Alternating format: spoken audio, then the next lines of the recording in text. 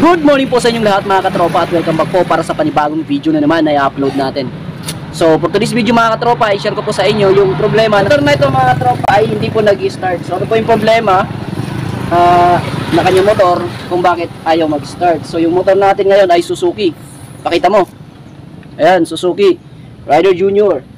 So kung napapansin nyo, wala na po siyang cover kasi binaklas ko po. So umpisa na natin i-troubleshoot. Sampo tayong uh, umpisang mag-check ng wiring para malaman natin kung saan yung problema kung bakit ayaw mag-start ng motor ng ating katropa. Well, hindi ko napatagalin to. Diretso agad tayo sa video. Tara na.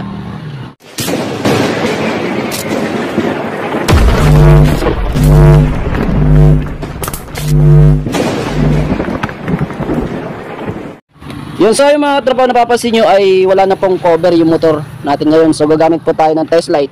Syempre, uh, bago tayo mag mag-umpisa mag-umpiso, mag-umpisa mag-wiring eh i-test muna natin yung kanyang battery, no?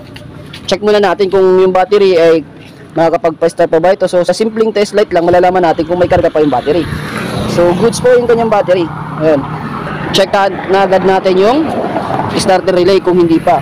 So kung mapapansin nyo mga katropa sa kanyang starter relay, ay meron po siyang ground ito nakarekta po yung kanyang ground so ibig sabihin ito po ay naka-positive yung trigger. So sa positive po yung trigger nito pero pwede natin tong i-redirect subukan. So sa magitan ng pag-clip po ng positive ng isang test light natin tapos yung ating dulo ng test light suksok natin to dyan sa positive. Pag nag-start to uh, pag nag-action mag-start so ibig sabihin linya lang yung may problema. Yun. Narinig nyo ba? Yun nag-start So, mukhang alam kagad natin kung saan yung problema. No? Dito po sa kanyang push start, titignan natin, uh, lilinisan natin yan. So, patay muna natin. Yun, lilinisan natin yung kanyang uh, push start at titignan pa natin yung ibang posibleng troubleshoot ng kanyang motor kung bakit ayaw mag-start, okay? So, tanggalin ko muna yan. Yun ang mga katros, sa simpleng paggamit ng test light ay na-verify kagad natin, no? Uh, sa pag-trace ng wiring, dapat alam mo, mga katropa, kung ano po yung trigger ng iyong starter, kung ito ay naka-positive trigger o negative trigger, para nung kagad tayo, mag-umpisa mag-wiring. No, mag-umpisa mag-troubleshoot. So, tanggalin muna natin. At iti-test light natin dito. So, mga katropa, since na yung positive trigger yung hanapin natin dito, dapat makahanap po tayo ng positive. So, yung isang dulo nating test light, clip natin sa makina. Tapos hanapin natin yung positive. Dapat meron pong positive na pumasok dito para magkaroon po ng positive yung uh, starter relay. No kasi walang pumapasok na positive sa starter relay negative lang meron kaya hindi ito umandar. So ayan. So walang positive trigger. Hindi umiilaw. No dapat isa sa dalawang wire na ito ay meron pong positive. Yan so may problema rito. So titingnan natin yung connection dito no dapat yung isang wire nito yung isang wire nito ay mayroon pong positive. Kasi yung isang wire nito ay papunta po sa ating starter relay. So itong wire na ito na green na nakakabit dito sa kanyang ano ay wala pong positive. Dapat may supplyan ng positive. So hahanap tayo ng positive at ikakabit natin to no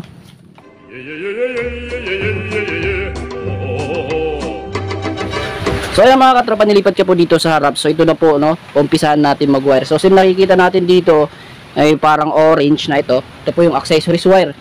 Yung accessories wire nga pala natin mga katropa, sa ating Suzuki ay orange, no. So magkakabit po tayo ng orange, no, sa isang wire na ito para magkaroon po siya ng positive. Uh, check muna natin yung wire na ito na pinagkabitan nila ng isang wire na pinagkabitan nila ng wire kung ito ba ay may positive kasi dapat itong green na ito, ito po ay may positive. Pero pwede magkapalit yan mga katropa, depende po sa iyong pagkakabit. Check natin. So ito po ay walang positive. No? Ayan, walang positive. Check naman natin yung isa. Tanggalin na lang natin para mas maganda. So wala rin pong positive. So ngayon, i-check natin dito sa dalawang wire na ito mga katropa kung saan dito yung wire na papunta po sa ating uh, starter relay. Ito po yung wire na nandito ha. So, i-verify muna natin dito saan yung wire papunta sa starter relay. Paano ma-verify yung mga katropa? Yung, yung, start, yung gamit pa rin yung ating switch, ikakabit natin yung isang wire dito sa positive. Ay, isang wire. I-clip, i-clip natin to sa positive. So, doon na lang ako sa battery. Yun. So, nakaklip na po yun sa positive. So, i-trigger natin dito. So, itong aking test light ay mayroon na po itong positive. Ayan o. Ilaw, no? So, iti-trigger natin dito sa dalawang ito kung saan yung wire papunta po sa ating relay, no? Ito yung pagtetest na gamit ang test light. So, unahin muna natin to. Ayun. Ayun, nag-start siya. So, ito pong wire na ito ng ating katropa na naka-install na ano siya, green siya na may yellow. Ito po yung papunta sa kanyang relay. No, sa starter relay. So, yung orange na ito,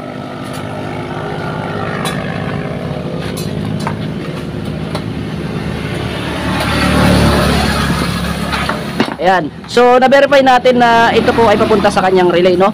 Kasi meron po siyang ito po yung nagpatunog sa starter. Ayan, no? So, ikakabit na natin yan kagad dito. Ayan. So, susubukan muna natin yan, ha, mga tropa. Ngayon naman, yung isang wire niya, no? Kasi sa ating push dalawa lang naman yung wire niyan, eh. Ayan. So, ikakabit naman natin to sa positive. So, itong wire na ito na isa, na ininstallan nila, ay wala pong positive. Ayan, hindi po umilaw. No? Ah, naka body ground, tapos test ito, walang ilaw. So, ibabody ground ko lang sa, cha- sa, sa chassis ng motor. Ayan. So, ibig sabihin, nagka-problema po yung kanyang starter kasi wala pong supply ng positive. Yung kanyang push start kasi positive po yung trigger. So, ito, ikakabit naman natin to sa positive. Maghanap tayo ng positive. Ito. Positive kaya to.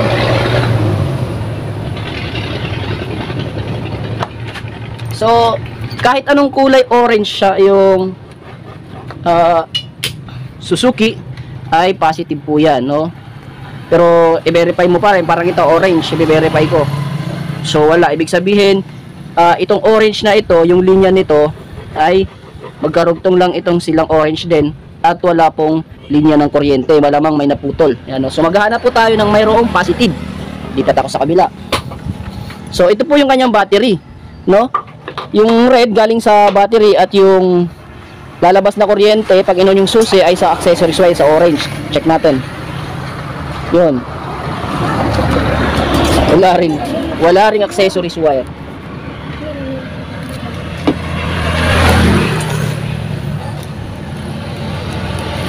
Ayan, double check din natin. Lang ha. Gana pa tayo ng mga ibang orange. Walang accessories wire mga katropa. Check natin yung battery. Wala ring umiilaw kahit sa red.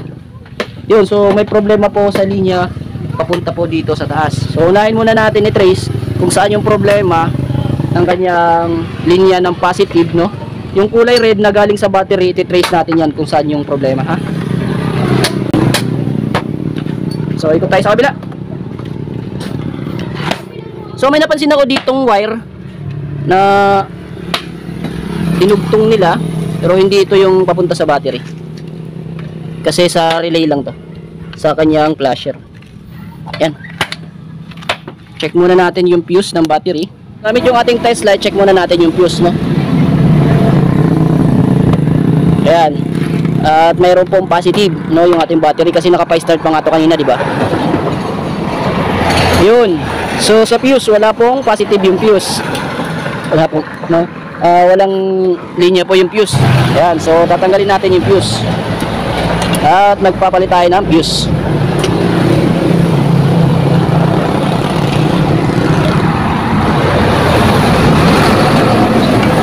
Yan, test light natin. Yun, may ilaw. Yun, may ilaw na. So, okay na po yung linya papunta po sa harap. Dito sa kanyang fuse. So, titingnan naman natin dun sa harap.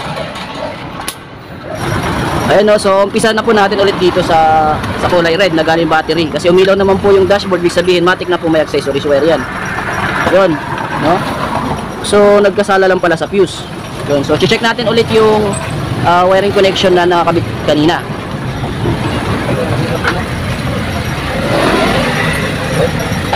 Ayan, so ito po yung kulay orange na kinabitan nila kanina. Dapat umilaw to. Pag umilaw to, okay.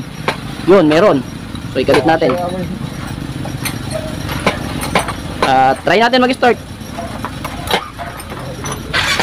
Yon! Di ba? O, hindi na pa nakita. Isa pa. Yun, start na. So, yung naging problema lang ng pala ng linya ng starter ng ating katropa yung kanyang fuse. Sana eh may natutunan kayo sa ating ginawang tutorial na ito. Okay? So, start natin ulit. Yun. So mga katropa, napansin nyo, binaklas ko talaga yan kasi ayusin ko yung wiring nito. At check ko yung signal light, headlight kasi ito po ay kanilang ipaparehistro. Ayan, so kinulan ko na lang po ng tutorial yung kanyang wiring no, kung paano pagganahin yung start kasi request din po na may-ari. So mga katropa, uh, sana may natutunan po kayo sa short video na ginawa natin o sa video na ginawa natin kung paano iti-trace po yung problema ng iyong starter. So dapat para mapabilis ka sa iyong pagtatrabaho o paggagawa, alamin mo muna kung ito ay naka-positive trigger o naka-negative trigger para masundan mo ito. Patayin ko muna. Ayan. So sa pagdating usapang starter, dapat goods po ang iyong battery no. Hindi po tayo makapagpa-start kung yung kuryente ay galing lang po sa ating ah, sa ating tinatawag na regulator. Kasi pag tinest mo yan, wala talagang kuryenteng mangyayari dyan, no? Hanggat hindi umaandar yung motor. Magkakaroon lang po ng positive yung ating red wire ah, papunta po sa accessories wire. Kung ito po ay umaandar na ang ating motor kung wala pong battery no? Ayan. So dapat para gumanang yung starter ay goods po yung connection natin mula sa battery. So nalaman po natin sa video na yon na from battery to susi ay ah, putol po yung kanyang linya no? Ay yung positive wire na galing na red wire na dapat magsusupply sa ating accessories wire ay putol po yung linya kaya dahil po sira po yung fuse so yun lang po yung naging problema na motor ng ating katropa kaya hindi po gumana yung kanyang starter. So binaklas ko na rin po, uh, sinadya ko pong baklasin kasi nga po ay papawiring ito ng ating katropa kasi ipaparehistro ko na.